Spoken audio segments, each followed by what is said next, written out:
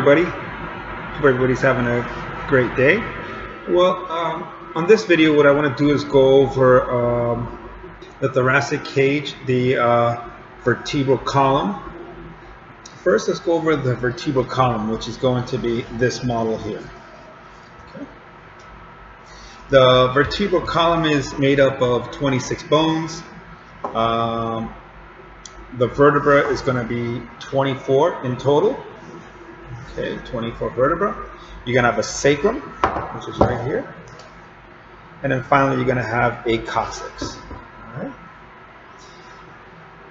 This vertebral column, first of all, it's important because it's going to protect the spinal cord. The spinal cord goes right down the middle of that hole, through here. Okay spinal cord sends signals from your brain down to the brain stem, down to the spinal cord, and the spinal cord is bound and protected by the uh, the vertebra. Okay, all these individual bones, 24 of them. All right, so let's look at three classifications or categories of vertebra. Okay, you have, uh, first of all, you have this vertebra here. It's called a cervical vertebra. Okay. Notice here, let me put it down here better. Okay. These holes right up there. These holes um, allow the vertebral artery to go to go through it. But that's ca the characteristic, uh, the unique feature of the cervical that it has um, the transverse foramen that none of the other vertebrae have. Then you have your, and that's going to be one, two, three, four, five, six, seven. Seven cervical vertebrae. Okay, so you're gonna have seven of these. That's gonna be the top. Then you're gonna have all these vertebrae here in the middle. Those are called the thoracic vertebra. And it's gonna be 12 thoracic vertebrae. Okay? 12 thoracic vertebrae. And uh, this is what they look like. 12 thoracic vertebrae. Uh, each, uh, each vertebra. Notice that the spinous process is very long. Almost looks like Toucan Sam. For all you old uh, people like myself, Toucan Sam from Froot Loops, well, even young. Um, so this will be typical of thoracic, and also what's important for thoracic is that you're going to have the uh, the ribs attached to it. Okay. Then finally, you're going to have uh, the bottom of the last remaining five vertebra here on the bottom. Look how big it is, how thick they are.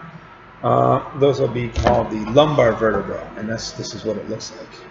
Very big, the biggest of all three of the vertebra. It's got a very thick body, a short, stout, or a stout spinous process, and this uh, lumbar vertebra is going to support all the vertebra above it which definitely requires this vertebra to be very thick. Okay, so those are three types of, of vertebra, but let me go over what's similar to all of them. Let's, let's do that first. Okay, so notice on, on the either side here, you have these holes, these holes for the spinal nerves to come out of, because you know the spinal cord goes down the middle. Actually, let me start with that. Uh, the spinal cord goes down this hole called the uh, uh, the vertebral foramen, vertebral foramen. And you'll notice that in all, all of the vertebrae I just showed you, it's going to have a vertebral foramen. Okay? And that's going to allow the spinal cord to go through. Okay? So the vertebral foramen allows the spinal cord to go through. On either side of the uh, spinal cord of the vertebra, coming out of the spinal cord, is going to have you're going to have the spinal nerves. But the hole that it goes through is called the intervertebral foramen. Another structure that's common between all of them, you're going to have this bone that's sticking out the back. That's called the uh, spinous process. See that? If you ever look at somebody's back, they have these little dots and the little bumps in the back. That's because of the spinous process. And let me show you here. You have the spinous process, spinous process. Now this is actually an atlas, which is the C1 vertebra.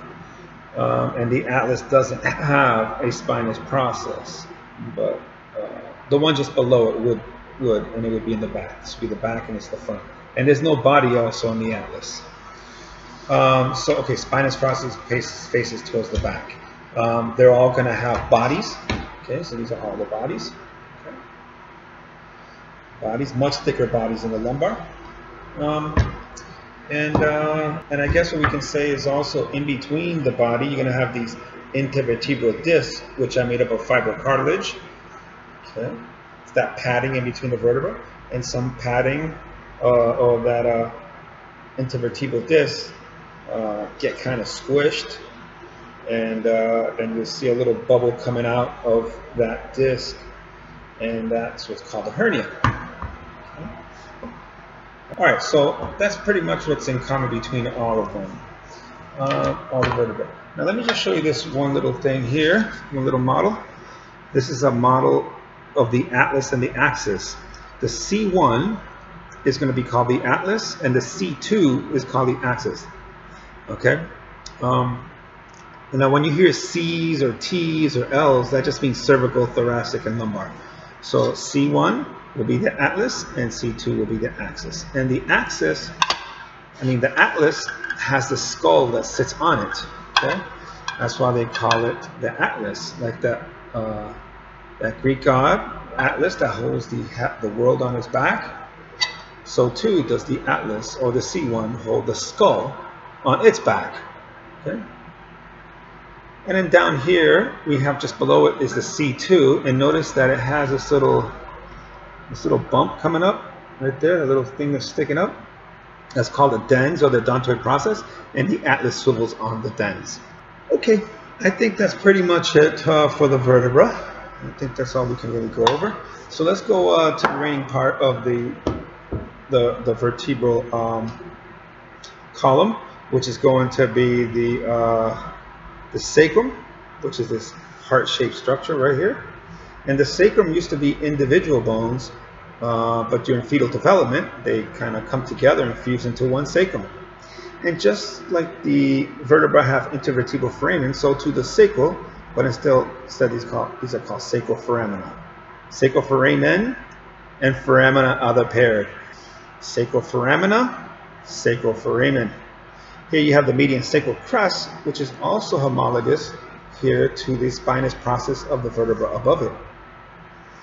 Okay, and then uh, finally you have this entrance coming down for the uh, spinal cord into this into the sacrum. That's called the sacral canal, and exiting here is the sacral hiatus. There's nerves that come out from down here on a, on a much better model. Then finally here you have the three to five coccyx, which are also referred to as the tailbone okay, which is a remnant of our tail that we used to have if you believe in evolution. Our reptilian ancestor used to have a tail, so this is our uh, this is the tail that's gotten much shorter in our evolutionary process of the human. All right, so I think we're done with that. Let's go now to um, let's go to this connection here real quick between the the ribs and the uh, the ribs and the in the vertebra. Specifically, the ribs articulate with the thoracic vertebra. So let's just do this real quick. Here you have, this is the head, the neck, and this is going to be called the, um, it's called the tubercle of the rib. Wow. Okay, so the head, the neck, and the tubercle of the rib. Okay, now the head, yeah, if I would have connected it, I probably would have memorized it, remembered. But the head articulates with the costal facet. The costal facet is going to be a portion here. It's pretty bright. I hope we can see it in the, but this is the costal facet is on the body and here on the transverse process you have the transverse costal facet. So the head of the rib articulates with the body, uh, with the body with the costal facet, and the tubercle of the rib, I would have memorized, I would have said it there, but the tubercle of the rib would have uh, connect here with the transverse costal facet. So head with the uh, costal facet on the body and the tubercle of the rib with the transverse costal facet. And it pretty much does that. Okay, so now this is facing, you're looking at the anterior view. This is the posterior with the spinous process. So it would go so the back is facing, so it's going in the direction that goes in my body, so spinous process is in the back. So the rib will go here towards the front, okay?